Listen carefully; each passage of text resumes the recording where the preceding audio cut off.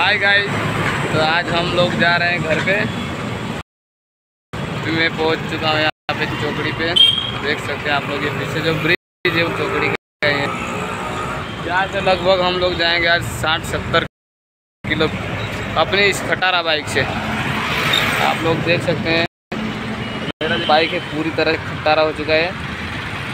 आप लोग प्लीज़ करें ताकि मैं नहीं ले पाऊँ।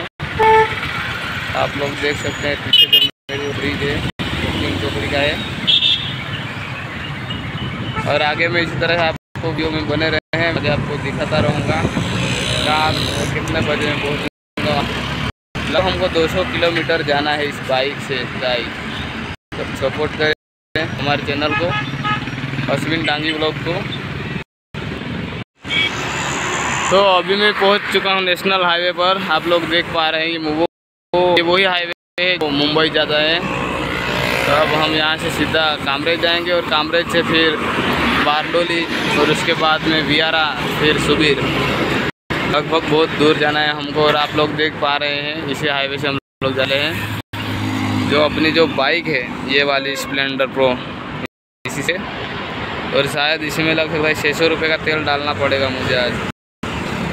आप देख पा रहे हैं, ये इस नेशनल नेशनल हाईवे ही हम लोग जाएँगे। लगभग हम लोग पहुँचेंगे शाम के सात बजे पहुँच जाएँगे। बहुत दूर है यहाँ से। मेरा गाँव। आप लोग करें। ताकि मैं और भी बनाता रहूँ इसी तरह से। मेरे ब्लॉग चैनल को सपोर्ट कीजिएगा। ओके बाय गाइस तो फिर मिलते हैं।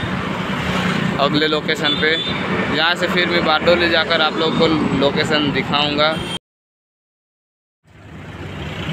तो सॉरी गाइस हम लोग बारडोली और कामरेज पर जा रहे हैं। किसी ने बताया यहाँ से सीधे बियारा निकलने का जो ये आप लोग देख रहे हैं जो रहा है वो सीधा बियारा जा रहा है तो हम इसी से जाएँगे। थोड़ा बहुत पेट्रोल अपना बचेगा। शायद तीस, बीस, तीस किलोमीटर का फ़र्क ये लोग बता रहे थे, मैंने अभी पूछा पीछे किसी से, किसी ने बताया।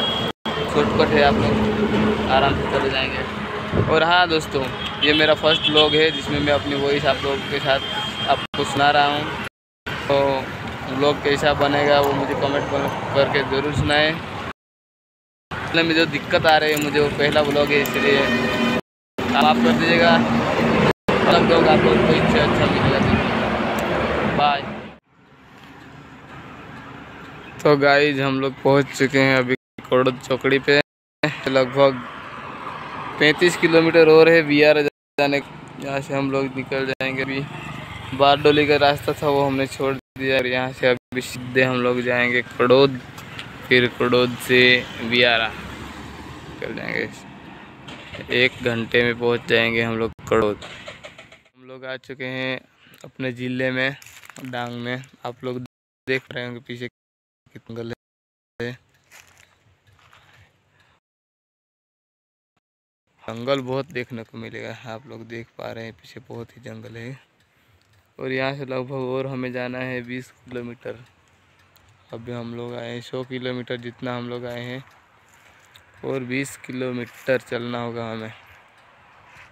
गाइस लोग देख सकते हैं, मेरी जो बाइक है वो पूरी तरह से गर्म हो चुकी है। बहुत ही गर्म।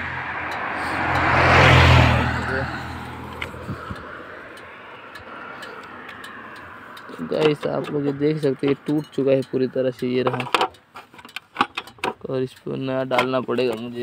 बहुत ही ख़राब हो चुकी है मेरी बाइक तो धोना पड़ेगा।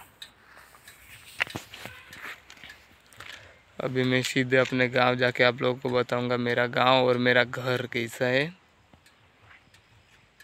देख पा रहे होंगे, बहुत सारा जंगल है और इसमें जंगली जानवर भी रहते हैं।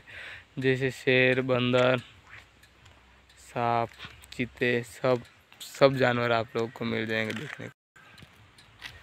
बाय